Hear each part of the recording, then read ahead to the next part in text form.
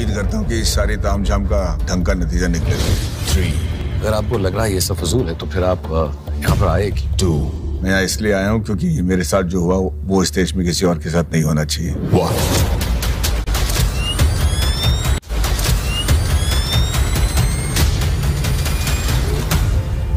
Sir दुनिया भर में लोग ना साठ सत्तर टन की इंजन बना रहे हैं। और हम यहाँ 600 किलोग्राम के खिलौना बनाकर खुश हो रहे हैं। सर ये रॉकेटरी नहीं है पपेटरी है। इन रॉकेट्स के ज़रिए हमें कमर्शियल सैटेलाइट्स लॉन्च करने होंगे। कमर्शियल सैटेलाइट लॉन्च मार्केट जो आने वाले दिनों में एक ट्रिलियन डॉलर मार्केट है उसका हमें हिस्सा बनना पड़ेगा। जो मेरे अब्बा अंकल पूरा परिवार पाँच साल में कमाते हैं वो आप एक साल में कमाओगे? ना एक महीने में। क्या कहती थे मैं ऐसा ऑफ़र ले लें.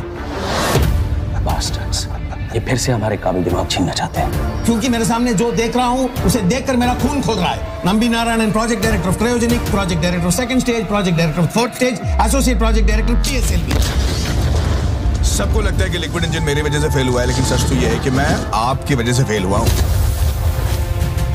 400 मिलियन पाउंड्स के इक्विपमेंट स्कॉटलैंड से उठा लाए मुफ़्त में। हमारे साइंटिस्ट को फ्रांस भेजकर उन्हीं का इंजन उनसे ही बेहतर बना दिया। रशिया में क्रायोजेनिक इंजन अमेरिकन के नाक के नीचे से निकाल लाए। पागल होने की ताकत आपसे बेहतर और कौन समझ सकता है? ये सब और बेहतर हो पाता अगर तुम नासा में काम करते तो। ऑक्सफोर्ड डिक्शनरी में देशभक्ति का मतलब समझाने के लिए उन्होंने तुम्हारी तस्वीर छाप रखी है।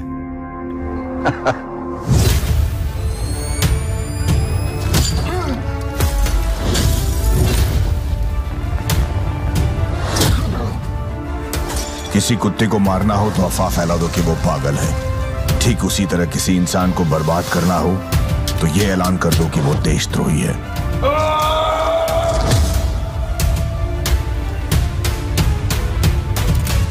मुझे तुम लोगों से कोई कैरेक्टर सर्टिफिकेशन नहीं चाहिए ना ही मैं यहाँ कोई पॉपुलैरिटी कॉन्टेस्ट जीतने आया हूँ एक मिशन के लिए आए हैं बस Stop the engine! Stop! There's no time!